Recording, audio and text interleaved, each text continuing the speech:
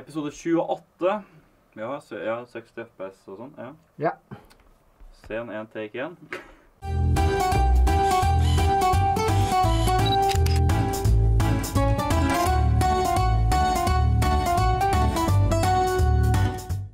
Hei alle sammen, og velkommen til en ny videoblogg. Og i dag så blir det opptak av Trulsetorsdag. Og det er litt deilig å komme ut med litt eh, ren vlogg enn bare Pokémon. Jeg liker Pokémon, og det er veldig mye Pokémon som jeg legger merke til på kanalen min. Grunnen til det, det er at fordi i min hverdag så er det ikke så veldig mye som skjer. Og det er lett for meg å dra ut og filme en Pokémon-video enn å filme da en hverdagsting som skjer i mitt liv. Fordi mitt liv er veldig likt. Jeg eh, tenkte å eh, ta og redigere litt, fordi jeg må jo få satt på litt eh, thumbnails. For det kommer jo to videoer i dag. Det kommer jo en Pokémon-video og en Clash Royale. Og dette ble jo filma i natt. Og jeg har i hvert fall laget thumbnail på den ene, og jeg må lage en thumbnail på den andre. Så la oss ta en titt hvordan jeg lager thumbnails. Så slik så jo forrige thumbnails ut. Jeg har så å si en preset jeg har laget her. Og eh, dette her var feil bilde jeg skulle slette. Så det jeg pleier da å gjøre da, er egentlig å gå inn på mine bilder, som dere ser her.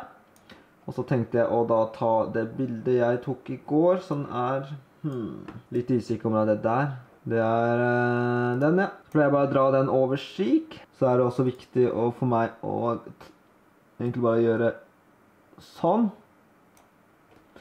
Og så trykker vi Ctrl C og Ctrl V. Da har jeg jo kopiert det jeg har da markert, så kan vi ta slette den som er under der. For et spåndekk. Sånn. Nå har vi skrevet det. Tar bare og trykke der, så vi mover den så cirka der. Og så er det bare å save, og da er egentlig tømmelen ferdig. Ja, da har jeg gått tur med soya, og nå er det på tide å egentlig ta og bevege meg eh, til Nordic Screen. Og eh, jeg må jo ha med Nineboten min, som er veldig, veldig viktig. Så da får jeg bære den ut, for jeg har jo med Ninebot, jeg har med bag.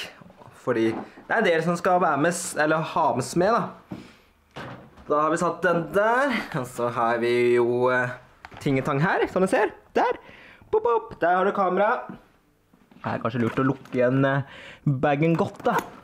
Og så har vi skulderrigget som ligger her. Stabilisatoren er der, men det er kun den og den der jeg skal ha med. Så jeg tenker slik at jeg egentlig bare tar og ja, klipper over til at jeg er ute.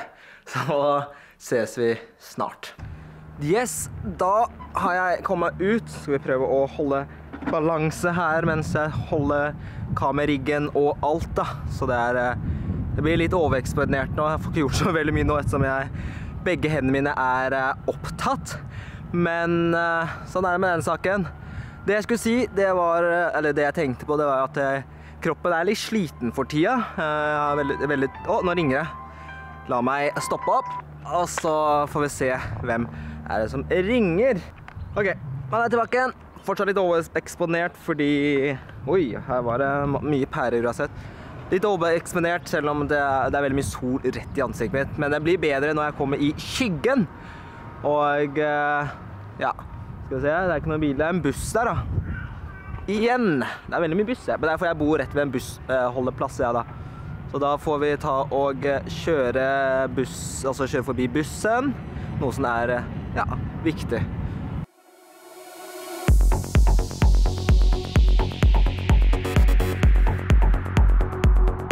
Og så, jeg tenker sånn at eh, det er ikke vits for meg å filme hele veien. For når jeg har litt ting å bære, som jeg sa. Så jeg klipper til når jeg er nærmere Nydalen og Nordic Screen. Slik. Og eh, ja, jeg har skikkelig vondt i ryggen nå. For den sekken der, den gnager som bare det. Altså, det er Hva Skal jeg si Det er eh, ganske tung bag. Det er jo ikke en sekk, det er mer enn en bag. Så sånn er det. Nå er vi snart framme, som jeg sa, og eh, da blir det sånn at jeg da egentlig tar og bytter klipp. Fordi jeg eh, skal jo bytte om hvitbalanse og sånne ting. Og eh, det er veldig viktig, hvis ikke så blir det veldig gult og kjedelig og eh, i den greia der. Så la oss egentlig bare ta og skru av Nineboten. Legger jeg litt ting litt til siden her. Og så må vi strekke litt på ryggen og sånne ting. Fordi åh, det her er Det her blir en fin dag. Jeg gleder meg. Jeg gleder meg. Så vi ses inne. Da har jeg kommet opp til eh, Nordic Screen, og Truls har kommet. Så nå blir det at han skal ta og skrive litt manus for Trulsetorsdag. Så skal jeg ta og rigge opp studio, og så skal jeg ta og kjøpe en brus, fordi det er veldig viktig å kjøpe seg en brus når jeg er på Nordic Screen. Så la oss egentlig gå bort til brusautomaten for å kjøpe en cola. Jeg håper de har cola. Kom igjen, da. Får jeg cola? Får jeg colaen min? Give me the cola. Kom igjen. Ja, jeg får den. Å, dette er daglig dose. Og så blir det ikke reklame, da, men vi gjør sånn for det. Yes. Da, da, da, da. Truls kontor. Skal vi se om han er hjemme, da. Han er garantert hjemme. Er det noen hjemme, Truls? Ja. Hallo. Hvordan går det? Er du, er du forresten fornøyd med den nye skjermen din, eller? Skjermen den er ganske fin. Den, altså. den har sånn kontroller her nede. Ja, hva er det for noe? Det, det, styrer, det styrer menyen, liksom. Å, såpass, ja. Ja, da er det på tide å rigge opp studioet til Trusetorsdag. Her er det bordet som man setter kamera på. Så da må vi egentlig bare ta og få ut alle beina, da. Skal vi se her. Sånn. Og vi har ett bein til her. Ja, det hadde jeg helt glemt. Sånn. OK. Skal vi se her. Da har bordet satt på. Her har vi stativet, blant annet. Dette er eh, den eh, der kameraet står. Det skal oppå på bordet, da. Ettersom at uh, Tullesetorsdag filmes i det hjørne der, så skal jo TV-en og sånt være der. Den skal jo også litt nærmere veggen. da. Da har den kommet litt eh, der. Jeg er litt usikker om kameraet skal stå som den står her. Fordi dette her er en annen linse nå. Vi bruker jo nå en 14 mm linse. Og eh, TV skal komme opp der, så det blir bra. Og eh, studio til Truls er nemlig ferdig! Jeg sier hei ho Vent, Jeg må gaine, ass. Det er for lite. Margene. Som dere ser, det er 99% i bakgrunnen, da. Så dette her hey, yo! blir gøy. Vi tar vel filmen litt på Truls også. Og Så er den på min mobil. Ja, på hans mobil. Hei! Hei! Som jeg sa til Truls, det er ikke, det er ikke Kame så bra som gjør den ser bra ut, det er han som ser bra ut. Episode 28. Ja, se, ja 60 FPS og sånn. Ja. Ja. Scen 1, take 1.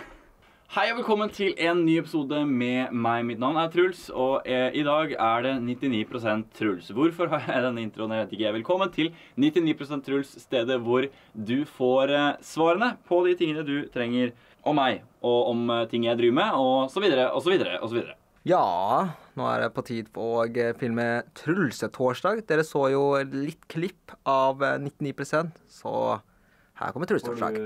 Toby og Kasper gjorde meg litt nervøs. Eh, Dette ser du på Hverdagsliv. Jeg slikker Danny Lange i øret. Skumle ting skjer i GTA eh, når vi prøver en game-mode jeg ikke har prøvd før.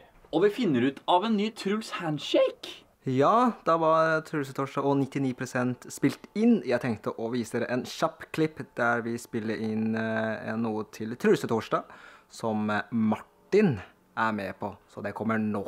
Hva ville du syns? Hva, hvordan ville du følt deg, Davan? Hvordan ville du følt deg om du var den ingen likte? Hvordan ville du følt deg om du var den ingen likte? Da har jeg sett det, og jeg tenkte å avslutte denne eh, vloggen for i dag. Håper dere likte den. Hvis du gjorde det, ta og like videoen, eller hashtag tomme opp, som jeg pleier å si.